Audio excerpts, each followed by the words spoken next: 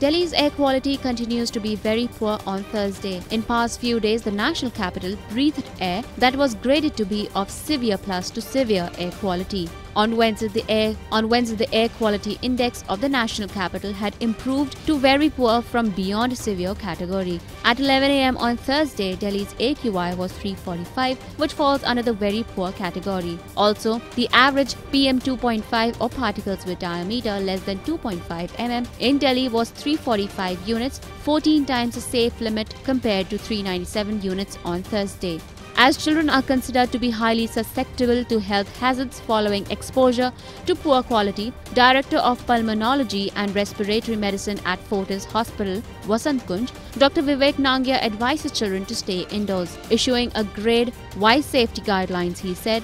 If a child already is suffering with asthma, then it's not a good idea to be sending this child outside if the air quality is poor.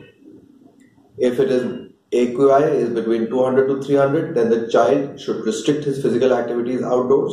Above 300, a child who is suffering with asthma should not move out at all. And if the air quality index is more than 400, then the child, no child should actually move out of the house. On Wednesday, officials had said the EPCA might ask officials to revoke the restrictions imposed under the Severe Plus or Emergency category of the Graded Response Action Plan and replace them with those under the Very Poor category. The Severe Plus GRAP was imposed on November 7th after a thick yellow blanket of smoke covered Delhi due to the cumulative effect of stubble burning in neighboring states and meteorological reasons.